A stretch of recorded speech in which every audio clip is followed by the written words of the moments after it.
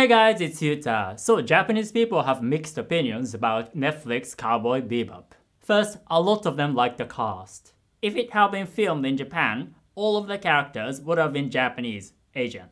And the reality, which is supposed to underlay the worldview, would have been lost. It seems like Japanese people appreciate the diversity. It should be a good thing that the creators have started to say no to going down the easy path of hiring famous white actors to make live action versions of shows from different countries.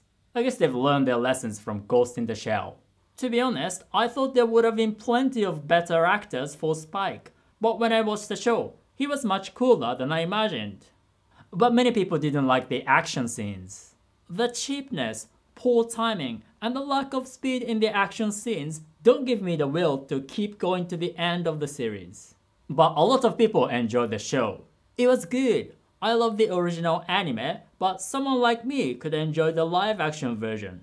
The live action Cowboy Bebop was good, and I didn't find many people who are unhappy about changing the story itself.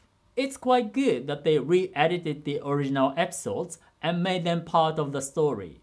One interesting thing is that many Japanese people didn't like how they used Japanese text in the opening song. The opening that shows Japanese text is not cool, but Yuko Kanno, the composer, is godly as expected.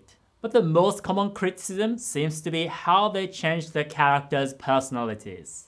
The first thing that didn't feel right was that Jet talks a lot about his daughter. I thought he was a strong, silent, manly type, but in the new show, he becomes just an ordinary dad trying to do his best for his kid. Jet became kind of a tough black guy who is sweet with his kid trope. Spike is certainly a character who kills when he has to, but he wasn't just a mindless killer in the original anime. He would only kill when there is no other choice. He does kill a lot in the Netflix version. In the original anime, I always felt that Faye had a pretty awful personality but was a smart woman.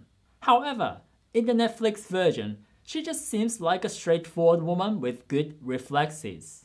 I get what this person means. Her personality was pretty different in the original series. When you watch the Netflix version, you realize how deep the characters were in the anime version.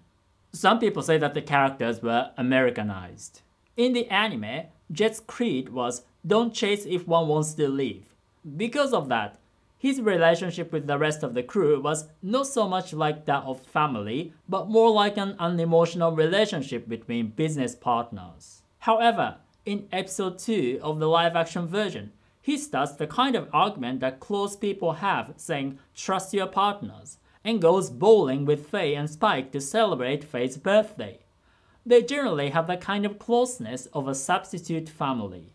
So a lot of people felt that the characters' personalities and their relationships were deeper in the original anime, and they were simplified in the Netflix version. In the anime, Vicious past and its relationship between Spike and Julia are only shown in fragments, but in the live-action version, they show everything. This could be a cultural difference.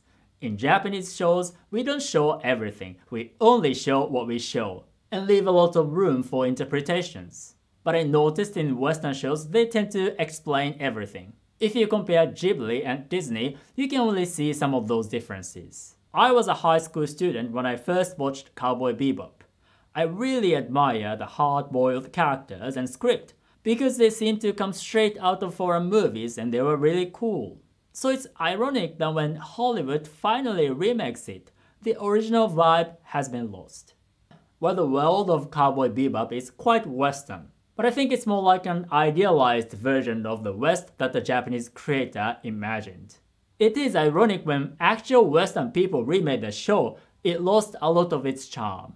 Having said that, many people definitely enjoy the original voice actors of the Japanese dub. I can totally watch this just because of the original voice actors. Or it could be a good enough show if you didn't watch the original anime. I don't really know the original version, so I watched it without prior knowledge and I got into it. And if you speak Japanese, it will be interesting to compare the original version in Japanese and the live action version in English. But if you don't, I will teach you the kind of Japanese that real life Japanese people today actually speak, which can be different from the kind of Japanese that textbooks and apps teach you because they can be unnatural and outdated.